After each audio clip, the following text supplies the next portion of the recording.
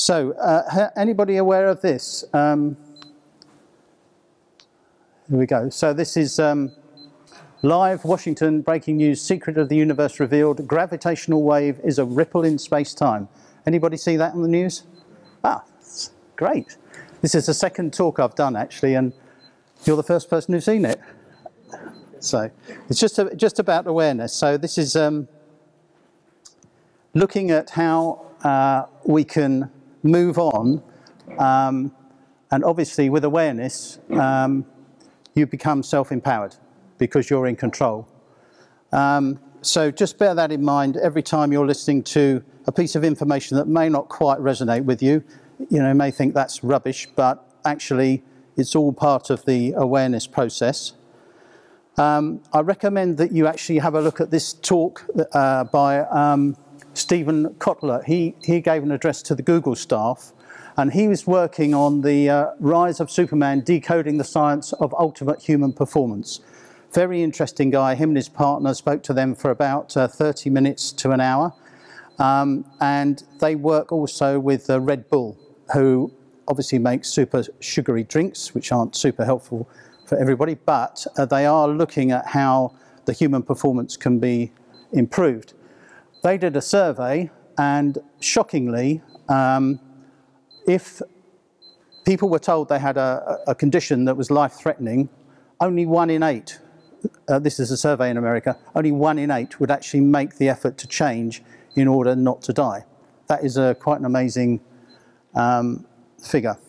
So I think actually, if you combine your awareness, get to yourself empowerment, the only other thing left to look at is your intelligence. And as uh, Stephen Hawking says, intelligence is the ability to adapt to change, which is actually what we're all doing here today. You're, you're hearing new information and you're looking to see how you can adapt to that change. So congratulations. Give yourselves a round of applause. Go on then. very good. Thank you very much. Okay, uh, so basically, we're not here to sell you anything. We're not here to convince you of anything. It's just information, and it's all open sourced, and it's free. So you can uh, take as much or as little as you like and take it away with you. Um, so plasma, this is a, a, term that's been adopted by Mr. Keshe uh, to describe the interaction of magnetic and gravitational fields. Uh, it's uh, it's not obviously not to be confused with plasma as in plasma blood or any other type of plasma. So it, so it is, you are relearning, uh, um, if, if you like, the definition of plasma. And, um, and basically we're, we're concerned with uh, electromagnetic fields. Um, so if I show you one bottle of water, I won't put that on there. And this is GANS. Okay? Now, if I said to you that um, this water has a memory, and this GANS is giving out a field, because that water's got a memory, the GANS can influence the water. How, how many of you would be okay with that? Great. Okay, we'll be, we'll be going on to in-depth explanation of what GANS is, what plasma is, and what nano is. Okay, that's great. Um, and I'm, I'm glad so many of you are in that space. Uh, I just thought I'd point out to you that this guy, we, we, we probably all know about Dr. Emoto and his um, frozen water slides, which uh, show how water can be positively influenced with uh, good thoughts, music, etc. But uh, I don't know if, if anybody knows about uh, Luc Montagnier. This is a guy who um, won the Nobel Prize for identifying the HIV virus. Now, he then went on to look at water and mem the memory of water. So this is, uh, he filmed, and it's on YouTube, you can get it only last year, a complete experiment where he took the DNA, um, the HIV virus put it into, into water, diluted it down until it was no longer apparent in the water. He then was able to look at the um, signature of the water through a special reader, then send that signature, which was a digital signature, over to a, a, another professor in Italy who was a complete skeptic about what he was doing. He then took that uh, um, signal and put another beaker of water onto the same reader. And then they applied normal DNA testing techniques that they use to catch criminals. Um, and lo and behold, what happened was the uh, that technique involves putting in a, a marker, which, which, is actually a prompter to, to prompt the, the reforming of the DNA they are, they are looking for. So once the, um, once the water had been put on the, on the tra transference uh, transmitter and the marker had been put in, the DNA of the HIV that was, had been taken in France was then reproduced in Italy. So showing that the water um, actually had a memory even though the, even though the um, HIV uh, DNA had been completely washed out of the water at the start of the experiment. So you can get that on, on, on YouTube, but it's a really good, um, a, a, really good uh, experiment to look and, and proves how, how water works. So we're basically looking at fields. This is, this is what we're looking at. So in, in between these two is a field. The water's picking up the field from the GANs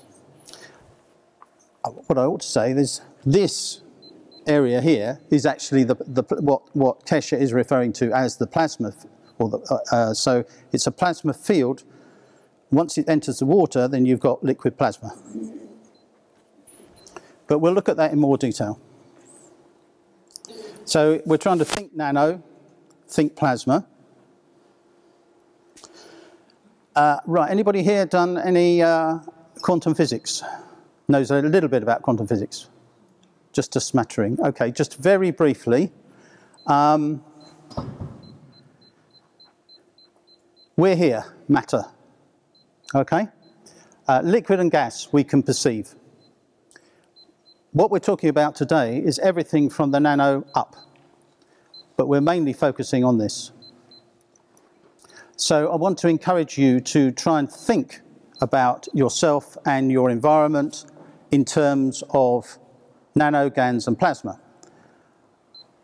In conjunction with that, because we are obviously working within the quantum field, our intent has an effect on whatever we're doing. So all of these processes are enhanced massively when you use a positive intent. And that's something that uh, Oliver will be going through uh, and, and exploring further. Um,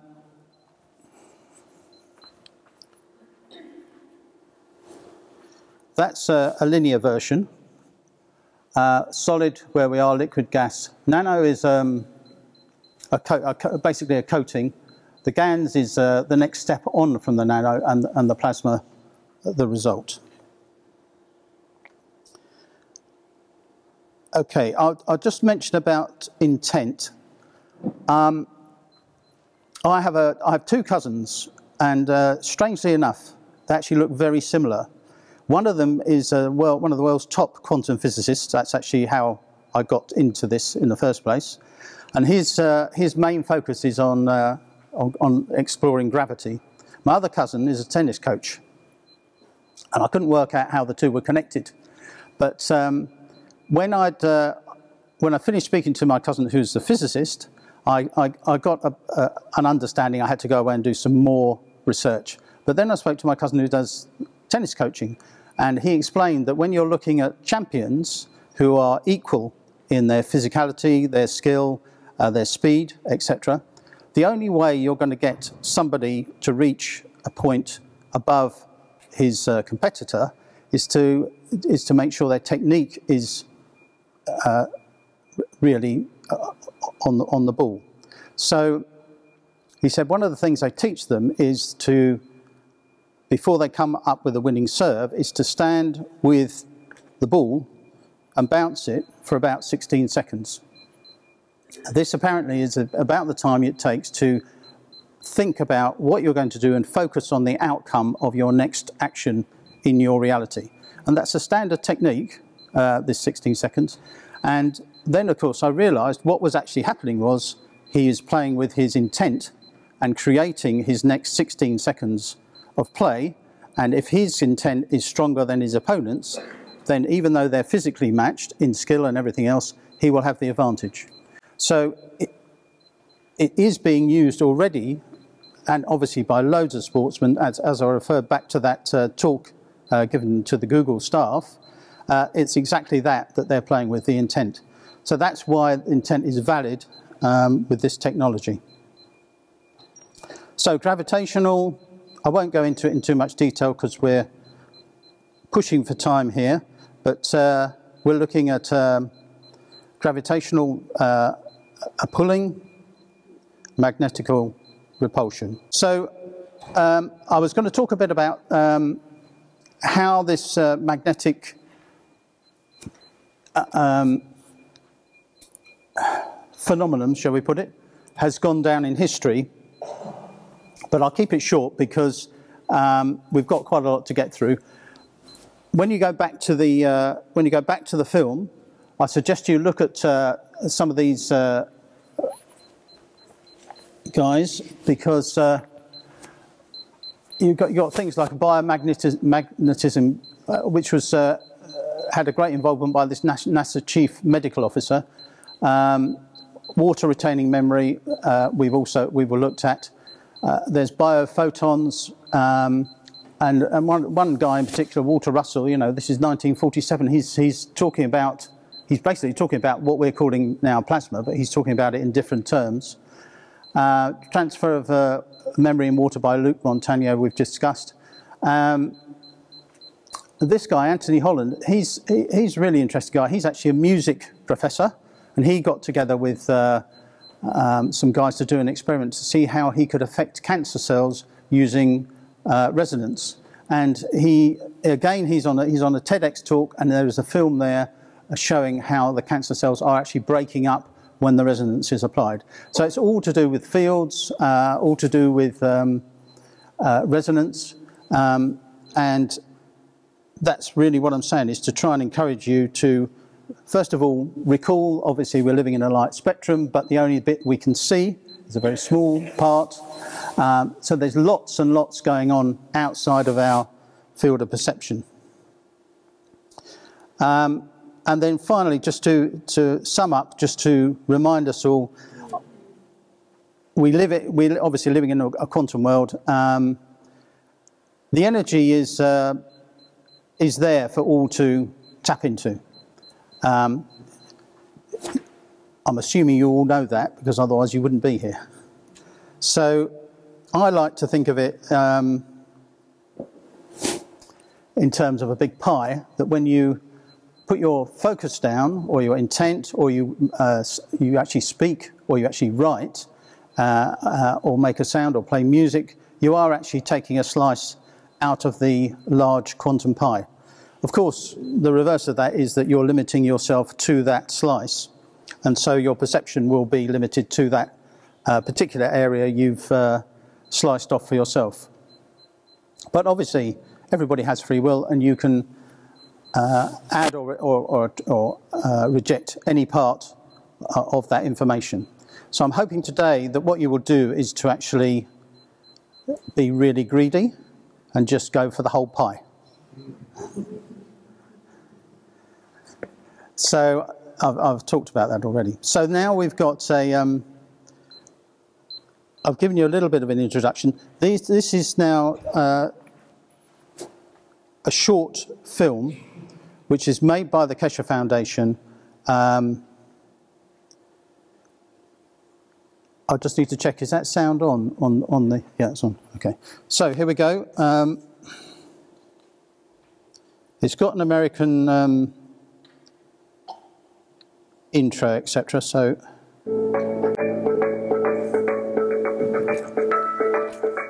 The Keshe Foundation, an independent, non-profit, non-religious, space-based organization founded by nuclear engineer Mehran Tavakoli Keshe, is introducing to humanity the science of the universe, plasma science. Keshe Foundation develops universal knowledge and space technologies that provide solutions to major global problems, revolutionizing agriculture, health, energy, transportation, materials, and more. The application of plasma science in the form of specially developed plasma reactors and other devices will give humanity the real freedom to travel in deep space. Plasma science exists throughout the whole universe. It is here and it belongs to you. Our knowledge, research, and development regarding the plasma structure has progressed to the point of enabling everyone to participate in the process. Become a creator and understand the work of the universe the good of humankind on this planet, as well as in space.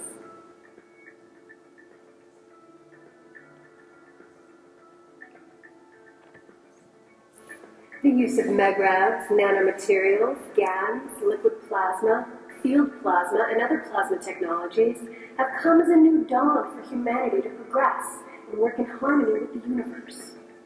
Conventional technology applications are wasteful, damaging, and cause pollution to the planet and all living beings. Plasma science provides solutions and improves existing methods and use of resources in all aspects that touch the lives of all beings. Plasma is defined by the foundation as an entire content of fields which accumulate create matter and is not defined by its physical characteristics like ionization or temperature. Also, plasma science, we understand how we can convert matter back to the fields. Quoted from Mr. Keshe, MeGrav stands for magnetic gravitational, which means plasma absorbs or gives. And every plasma has both. It has give and it has take. When they can't find the balance, they distance themselves until they find balance they can give to the others.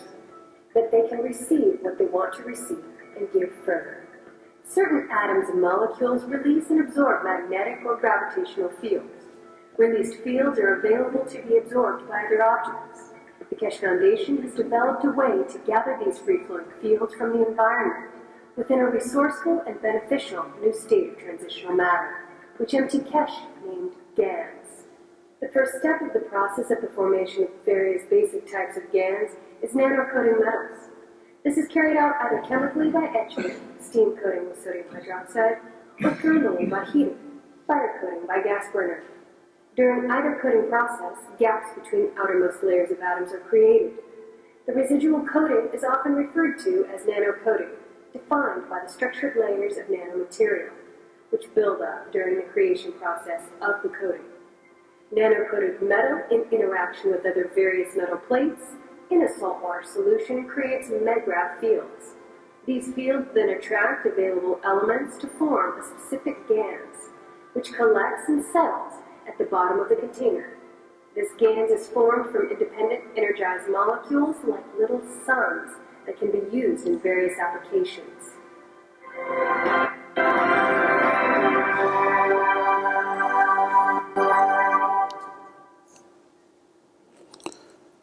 Okay. Everybody okay with that? Yeah? Okay, so this is a, a short film uh, looking at the health uh, benefits.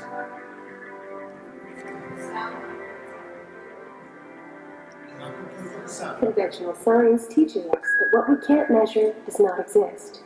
This led to a separation between science and spirituality. Plasma science combines both of these worlds. The entire universe is made up of magnetical giving and gravitational taking fields.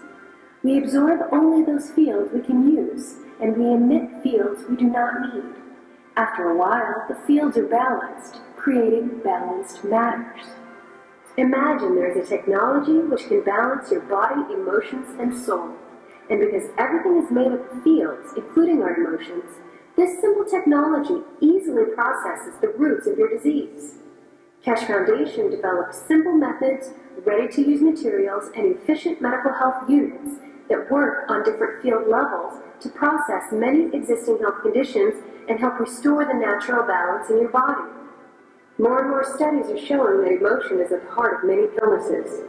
After the use of the plasma coil units, Changes in emotional patterns are noticed, and then following this, changes in the physical body occur. We don't cure diseases, but process them by bringing the body to a balanced state in such that the disease cannot exist. This means you can achieve complete emotional and physical balance in a relatively short time.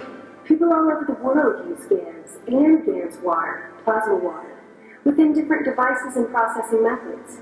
The Keshe Foundation offers a full spectrum of information pertaining to GANs and its uses, from solid plasma to liquid plasma to field plasma.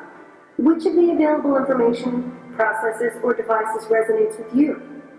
At the same time we open the door to the power of our soul, Keshe technology elevates the soul of the man in order to bring balance to our body, bring balance to our flow of emotions, bring peace to the world, and readiness to open up to the universal community.